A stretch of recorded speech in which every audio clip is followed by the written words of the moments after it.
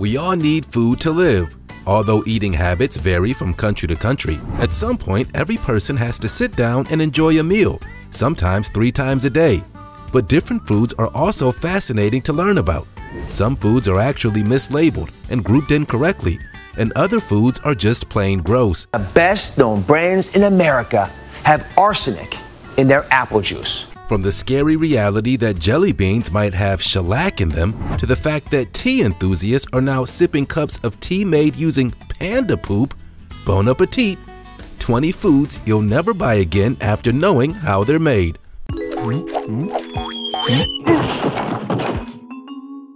Rennet for cheese. One of the ingredients you need to make cheese is rennet.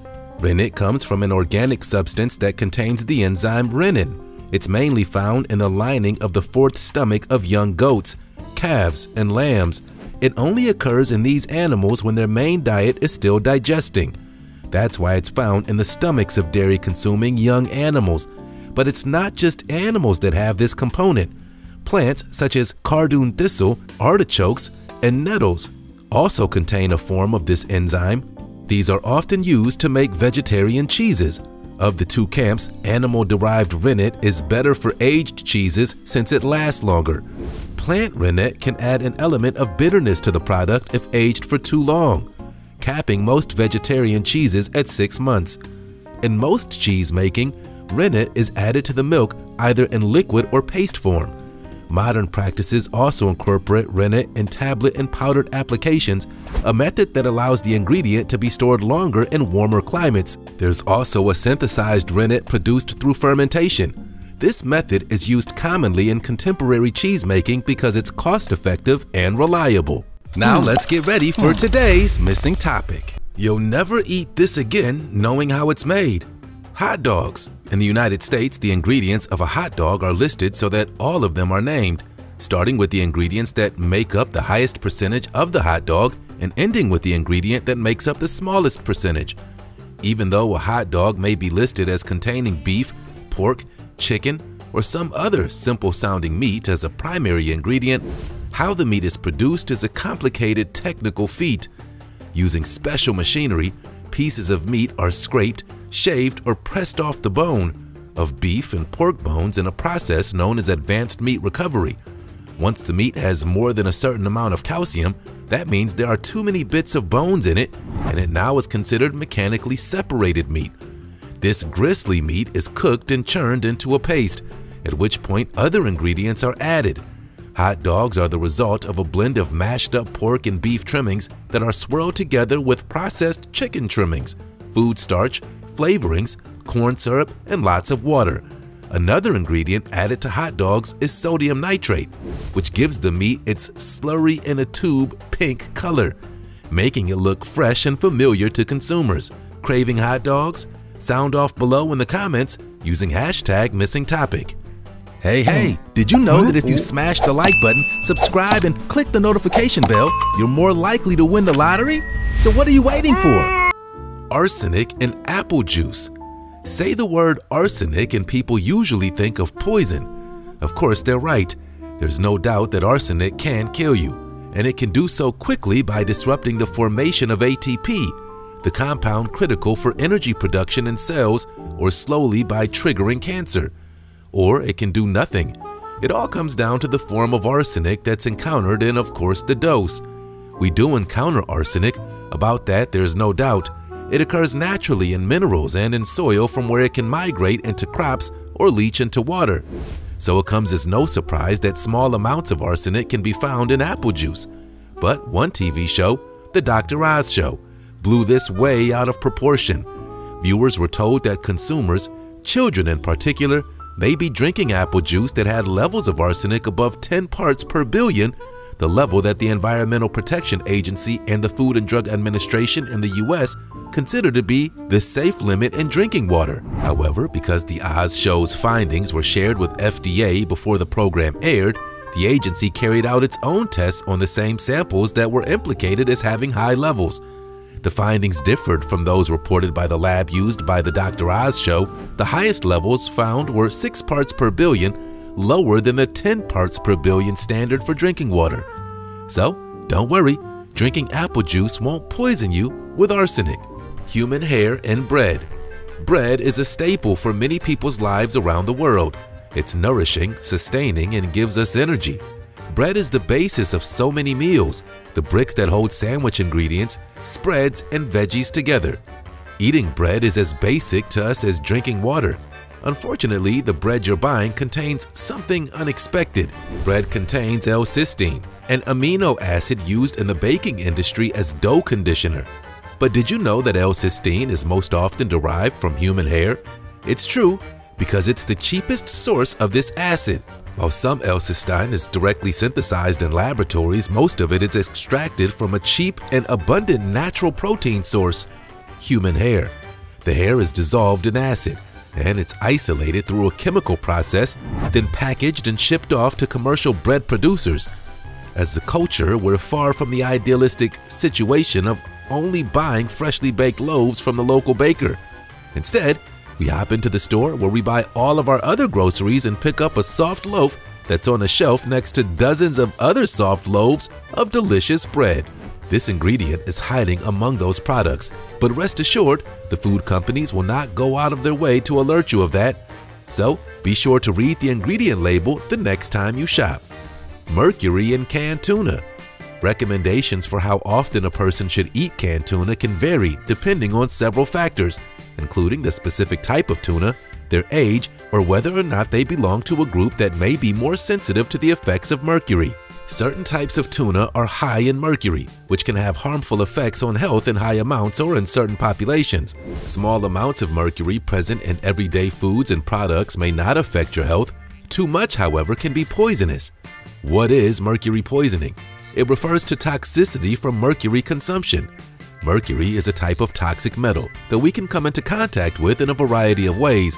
The most common cause of mercury poisoning is linked to eating seafood like canned tuna. Mercury itself is naturally occurring, but the amounts in the environment have been on the rise due to industrialization. The metal can make its way into soil and water, and eventually into animals like fish. Mercury is most notable for its neurological effects. In general, Experts say that too much mercury may cause anxiety, depression, irritability, memory problems, numbness of the hands, feet, or mouth, tremors, so it's not good. According to food experts, most adults should aim to eat at least 8 ounces of fish per week, which can include canned tuna. Beaver butt and ice cream. Is anything sacred? The next time you have vanilla ice cream or even vanilla flavoring in your food, you may have to think twice about where it comes from according to researchers. That's because the natural flavoring castoreum is obtained from the anal glands of beavers. It's true, it helps provide a vanilla flavor to some dairy products and desserts and accounts for up to 6% of vanilla flavoring used in the industry. But according to reports, synthetic vanilla accounts for about 94% of all vanilla flavoring used in the food industry. Natural vanilla extract accounts for most of the remaining 6%. But beavers can heave a sigh of relief. Their contribution to the food industry now accounts for a tiny fraction of natural vanilla flavoring and tends to be limited to luxury foods and beverages. The thick, odorous secretion from beavers was a lot more common in vanilla products towards the end of the 19th century, where the animals were nearly hunted to extinction to acquire the desirable additive. Thankfully, experts have found a way to extract the flavoring from animals without having to kill them Extracting this from a live beaver is not the easiest of tasks as the animals need to be milked in order to retrieve the gooey substance. Red dye made from bugs. When Europeans descended on South America in the 1500s, they discovered that the Aztecs were producing vibrant, dyed fabrics that retained their color for an incredibly long time. They were using a bug called cochineal, the cochineal insect is native to Mexico and South America. They're tiny and live on cactus plants, usually the prickly pear cactus. Female insects eat the red cactus berries, which concentrates the color in their bodies. Today, they're harvested mainly in Peru and the Canary Islands on plantations of prickly pear cacti, the bug's preferred host. There, the insects are sun-dried, crushed, and dunked in an acidic alcohol solution to produce the red pigment. About 70,000 insects are needed to produce a pound of dye. Aside from some folks being allergic to it, it has no known health risks. although those who keep kosher or choose not to eat animal products will want to keep their distance. In addition to food and textiles, they're also used as a dye in cosmetic products, including lipstick. It may be from bugs, but other synthetic red dyes carry far greater health risks and are derived from either coal or petroleum byproducts. Compared with these sources, bugs might sound positively appetizing. Enhanced chicken. It's becoming less likely that the meat you buy in the supermarket is just meat. After spending years breeding cattle, pigs, and poultry to be leaner, the food industry has been injecting meat with water, salt, and chemicals. Companies say the process, called enhancement, helps shoppers by flavoring the meat so they don't have to. It's been done to turkeys and hams for years, and to other meats since 2000. But the process allows the industry to charge the same price, sometimes more, for cheaper grades of meat, and to add more salt than many people need or want. Enhanced meat costs as much as untreated meat, or more, at most. At most supermarkets, enhanced and plain skinless and boneless chicken breasts cost about $3.99 a pound. But after accounting for just the protein, the treated meat costs 13% more. The increased use of enhancement, which can quadruple the amount of sodium in meat, has coincided with calls by health professionals for the food industry to reduce much of the sodium it adds to food. Meats are naturally low in sodium, but nutrition labels for enhanced meat show that they can have as much as 540 milligrams of sodium in a 4-ounce portion. The process can add other chemicals too that helps the meat retain the added water and extends its shelf life. Carbon monoxide in packaged meat. Packaging systems containing a variety of different gases have been used on food products for many years.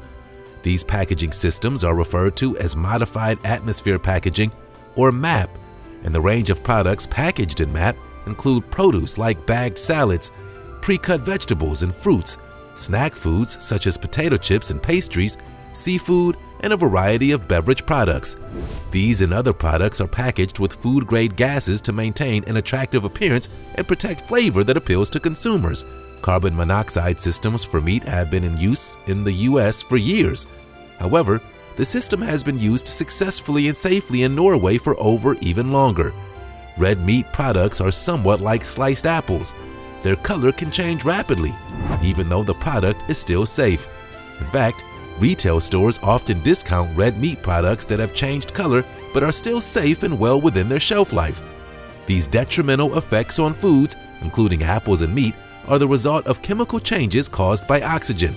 But by eliminating the oxygen from the package and adding minute amounts of carbon monoxide along with other protective gases to the headspace of the red meat packages, products like ground beef can maintain their appealing red color throughout their shelf life. Shellac and jelly beans. If you find yourself investigating the ingredients of a packet of jelly beans, you might find this alarming ingredient, shellac. It turns out that shellac, sometimes known as confectioner's glaze, might not be harmful. But do you want to eat this nail polish ingredient? The word shellac is in the window of almost every nail salon. It's also common in confectionery items requiring a glaze. It's a resin that's secreted by the female lac bug, native to the forests of Thailand and India. The secreted resin is scraped from the bark of the tree where the lac bug deposited it, then it's processed and dried and sold in the form of flakes. In order to make liquid shellac, for use in colorants such as nail polish, wood finish, and food glaze, the flakes are dissolved in solvent proper for that application.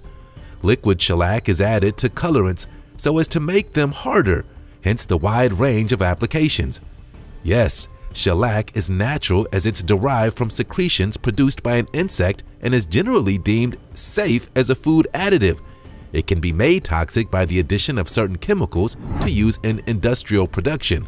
Remember, there's plenty in nature that we don't want to consume or otherwise use in food or personal care products. So, if you love jelly beans, you know there might be shellac in them. Anchovies in Worcestershire sauce. It takes 18 months to get this fermented sauce that graces the steaks of so many.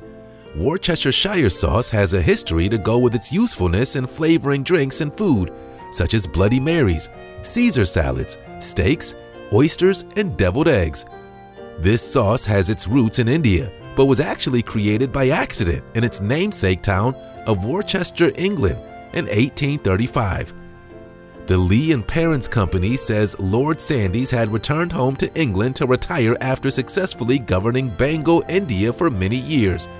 He so missed his favorite Indian sauce that he commissioned drug store have owners John Lea and William Perrins to come up with a reasonable substitute. The sauce was bottled and quickly became a hot item with customers. But not so much with vegans. Traditional recipes will include anchovies as one of the main ingredients, although there are some brands to buy or recipes to follow to make this sauce anchovy-free. This sauce is typically made up of barley malt vinegar, spirit vinegar, molasses, sugar, salt, anchovies, tamarind extract, shallots, garlic, and flavorings. Not all brands and recipes have anchovies, although most of them do. You'll need to look for brands marketed as vegan, vegetarian, or specifically labeled as anchovy-free. Gelatin-based food if kids knew about what actually goes into making their favorite candy, cake, or jello, it's likely they would never touch these things again. Gelatin is one of the ingredients. It's also one of the last that people tend to give up when moving away from animal products because it's so hidden away and far removed from the animal it came from, so it's harder to make the connection. Here's what's actually in it and why we really don't need to eat it. Gelatin is derived from decaying animal skins, boiled and crushed bones, and the connective muscle tissues of cows and pigs who were killed in slaughterhouses. Gelatin is all the body parts of dead animals that the meat industry can't sell as meat products. Bones, muscle tissues, ligaments, skin, and feet are all commonly used. So no, it's neither vegetarian or vegan. It's upsetting to think about the excitement children feel when eating their favorite candy in contrast to the suffering that animals endure to make it. If people saw where the gelatin in their candy came from, they would almost certainly reconsider eating it. Gelatin can be found in many candies, cakes, jello, ice cream, yogurt, and marshmallows, as well as cosmetics, vitamin pills, and even photographic film. It's easy to miss, so check these products before you buy them. Wood pulp and shredded cheese. It's not always easy being cheesy, that's the takeaway from the recent reports detailing the use of cellulose, aka wood pulp, in shredded cheese products in the United States. An FDA investigation found that a Pennsylvania company had doctored its so-called Parmesan with a mix of cheap cheddar cheese and wood pulp. The president of the company is currently facing a hefty fine and prison time for violating the Federal Food, Drug, and Cosmetic Act. It's really a kind of consumer fraud the legality has more to do with the fact that the cheese was improperly labeled. The FDA's Code of Federal Regulations regarding Parmesan requires that each ingredient be listed on the label. In this case, it wasn't. While much of the media's focus has been on wood pulp, cellulose is in fact a very common food additive. Most consumers don't know, but there's actually cellulose in all kinds of foods. Cereals, for instance. Basically anything that's labeled added fiber probably has cellulose in it. Cellulose isn't found in wheels of cheese, but in shredded variants where it's used as an anti-caking agent. It is a legal food-grade additive. In fact, the FDA allows cheese products to contain up to 4% cellulose. Any more than that might skirt the law, but it's likely not all that harmful. You'd have to eat an awful lot of cheese for that to affect you. Fish bladder in beer. Is beer made with fish? Some are. The popular brand Guinness, for example, contains isinglass, a gelatinous fish byproduct used to clarify the beer and help yeast settle. While most of the isinglass is filtered out during brewing, traces of fish bladder still exist in the final pint. This doesn't affect the taste of the beer. Brewers often use fish bladders for the filtering of cask beers. Lots of breweries use isinglass which is essentially a gelatin-like substance that's made of drying and processing the swim bladders of certain fish. It's part of a process called flocculation, and isinglass is still used because it can make beers appear clearer and brighter. Isinglass is a substance obtained from the dried swim bladders of fish. It's a form of collagen used mainly for the clarification or fining of some beer and wine. It can also be cooked into a paste for specialized gluing purposes. It's used to accelerate the fining of cask beers, which means it's used to clear the yeast more quickly. The isinglass yeast and other particles become a congealed mass that the beer makers then remove. Many people may not realize the beer in their pint glass may contain a product made from fish. Vegetarians and vegans out there better beware as not all beers are appropriate for herbivores. Bone char and sugar. Bone char, which is used to process sugar, is made from the bones of cattle. The bones are sold to traders who then sell them back to the sugar industry. Bone char, often referred to as natural carbon, is widely used by the sugar industry as a decolorizing filter which allows the sugar cane to achieve its desirable white color. Bone char is also used in other types of sugar. Brown sugar is created by adding molasses to refined sugar, so companies that use bone char in the production of their regular sugar also use it in the production of their brown sugar. Confectioner's sugar, refined sugar mixed with cornstarch, made by these companies also involves the use of it. Fructose may, but does not typically involve a bone char filter. Supermarket brands of sugar obtain their sugar from several different refineries, making it impossible to know whether it's been filtered with bone char. If you want to avoid all refined sugars, experts recommend alternatives that are not filtered with bone char. Additionally, beet sugar never involves the use of bone char and producers have developed a vegan confectioner's sugar which should be available in stores. However, it would be virtually impossible to find out the refining process used for the sugar in every product. Chewing gum made of lanolin. Do you know that every time you're popping your favorite chewing gum in your mouth, you could actually be chewing a secretion from sheep's wool? Yeah, that's right. It's been found that chewing gum contains lanolin, which is a waxy secretion from the sebaceous glands of skin of sheep. Its function is to make sheep's wool waterproof. For this reason, lanolin is generally an ingredient in skin products. But what about using it as an ingredient in chewing gum? The innocent-looking chewing gum might not be as innocuous as you thought. Since lanolin is present as a component of chewing gum base, the rubbery substance that imparts the chewable characteristic to chewing gum, which is regarded as standardized, manufacturers do not need to reveal its individual ingredients. Lanolin is especially popular for use in skincare products because it's wildly hydrating, ultimately softening skin along the way, reducing wrinkles, and for some, it's even a great treatment for dry hair. And while all that still sounds wonderful for products you don't actually ingest, lanolin is used in bubble gum as well. Just as it's used in skin and hair products to soften, it's used just the same way in chewing gum. As manufacturers begin with a gum base, it needs to be kept soft and chewy, and lanolin does just the trick. Maggots and canned mushrooms. You'd hope that finding maggots in your food would just be a horrifying trick, but unfortunately they're a genuine problem, as are many other disgusting contaminants. The U.S. Food and Drug Administration has strict rules regarding what they call food defects. Still, they're more lenient than you might want to hear. The FDA considers it economically impractical to grow, harvest, or process raw products that are totally free of non-hazardous, naturally occurring, unavoidable defects. In short, that means you're allowed to have some real nasty stuff in there, just not too much. Maggots, for example, are especially problematic in canned produce like mushrooms. First, let's talk about what maggots really are. They're the legless larval stage of the common fly, and when you think about what abundant pests flies can be in our lives, you can only imagine how many larvae they've got wriggling around out there. The good news is that generally, maggots and insect parts in food pose extremely little risk to your health. But how many maggots could there be in that can of mushrooms? The FDA inspects canned mushrooms in batches of at least six 100 gram portions. The average of these portions must have less than 20 maggots, Think about that the next time you buy some canned shrooms. Flammable coffee creamer. Anti-caking agents are compounds that are added in small amounts to dry foods to prevent the particles from caking together and to ensure the product remains dry and free-flowing. These agents function by absorption of excess moisture or by coating particles to make them more water repellent.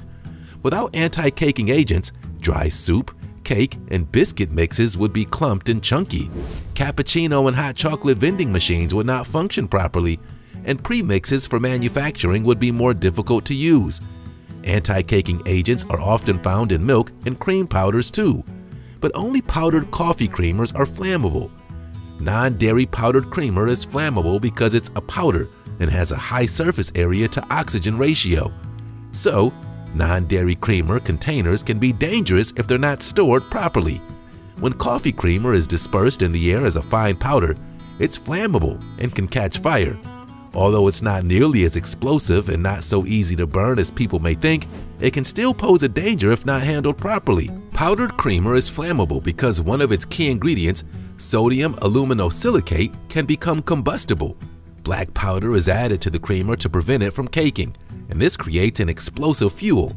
The primary ingredient in coffee creamer is thus flammable. Titanium dioxide in milk Titanium dioxide is big business in the US, UK, and the Middle East and also in Europe, Asia, and Africa. Titanium dioxide accounts for 70% of the total production volume of pigments worldwide. Recently, there is concern that dairy and dairy alternatives like fat-free milk, cheese, yogurt, soy milk, and almond milk are processed with titanium dioxide to improve color and mimic the whiteness of whole milk without there being disclosure of this ingredient on the food label. Fat-free milk turns bluish when fat is removed, and this color can be a turnoff to the average consumer. So, the Food and Drug Administration allows the addition of titanium dioxide to fat-free, low-fat, and reduced-fat milk only when it's being used to maintain the standard color of milk and it must be disclosed on the ingredient label. Under FDA ruling, milk is a product with a standard of identity. So if the color is off when fat is removed, then titanium dioxide may be added to match the appearance of standard whole milk. Some additions would have to be noted on the package ingredient statement along with an asterisk and the statement that's in an ingredient not normally found in the standard product. The problem is that we don't know the long-term effects of ingesting titanium dioxide. Panda Poo Tea Panda Dung Tea is soon to be the world's most expensive infusion at over $200 per cup. And that's why tea makers in Asia have been growing tea using the excrement from pandas living in nearby breeding centers. Wildlife experts claim that pandas' diets are loaded with antioxidants, as they consume mostly bamboo. Since they only absorb about a third or less of what they eat, a majority of the nutrients they consume end up in the fertilizer, in short, the claim is that the antioxidants already present in tea are multiplied when fertilized in this fashion. The fertilizer produced by pandas is said to have antioxidant properties similar to green tea, as the fertilizer reportedly has anti-cancer effects, and claims the tea is smooth with a nutty taste and that it has a distinctive aroma. We're sure not many will argue about the distinctive aroma, but many question the motive and claims behind the tea while some have already enjoyed a cup or two as it hit the markets, many who tried it weren't satisfied. Some have called the move a publicity stunt, while others respect the move for its eco-friendly, health-conscious intentions. What do scientists say about panda tea? While most studies show that green tea is undoubtedly loaded with health benefits due to its antioxidants, none have shown that panda excrement can increase these effects. Kopi Luwak coffee beans if you're well versed in the world's strangest and most specialized coffees, you've probably already heard of Kopi Luwak, sometimes called civet coffee. Some people believe that this specialty coffee is the best in the world, but there's one big reason you may want to give it a pass, and it's not the impressive price. This is a famous Indonesian coffee that's been digested by an animal called an Asian palm civet. The civet is a cat-like creature that roams the forests of Bali at night eating ripe coffee cherries and excreting coffee beans. The beans are then gathered, cleaned, and roasted. The result?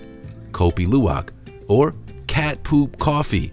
The history of this coffee starts way back in the 1700s when the Dutch first set up coffee plantations in Sumatra and Java. According to legend, the locals noticed that wild animals were eating the ripe coffee cherries and leaving the beans behind they were prohibited from harvesting coffee beans for themselves, so they started brewing coffee from these discarded beans. It's continued to be pretty popular ever since, and it's famous for something other than its unique processing. Its price. A cup of this coffee typically costs between $35 and $100, and the per pound price can range from 100 to $600. That's 20 to 60 times more expensive than average coffee. The truth about food can be a little alarming, but don't let that stop you from enjoying it. You just might want to read more labels and educate yourself on what exactly goes into your favorite foods.